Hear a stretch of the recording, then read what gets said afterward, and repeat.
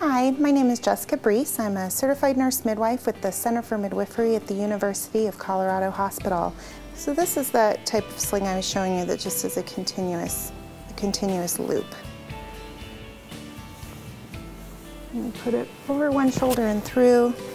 One of the principles um, with the sling is that you want it to fit properly.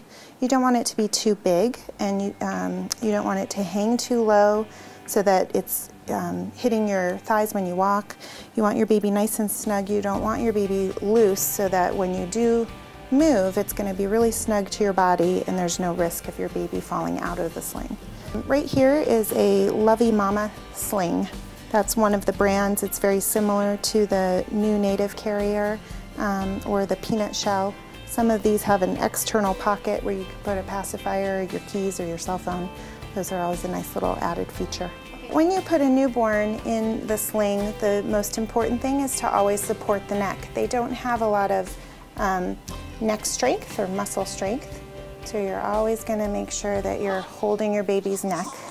Shh. And they really do enjoy being in the sling because it models the womb. It's close to your body. They do feel nice and snug. First thing you want to put in is their, their lower body.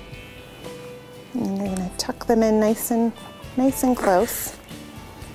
Always make sure that you can see your baby's, your baby's head and skin coloring. You also want to make sure that the inner layer is against their body and supporting them so that they're not going to fall through on the inner aspect of the sling. Make sure that your baby's head is exposed. And you're going to want to check your baby frequently when you're carrying it. one of the benefits of the sling is that you can be hands-free and you can, can play with a sibling, you can do the dishes, um, as long as you know that you're checking your baby's um, well-being frequently, it's breathing and its, and its temperature. You'll be covered by the sling when you're nursing.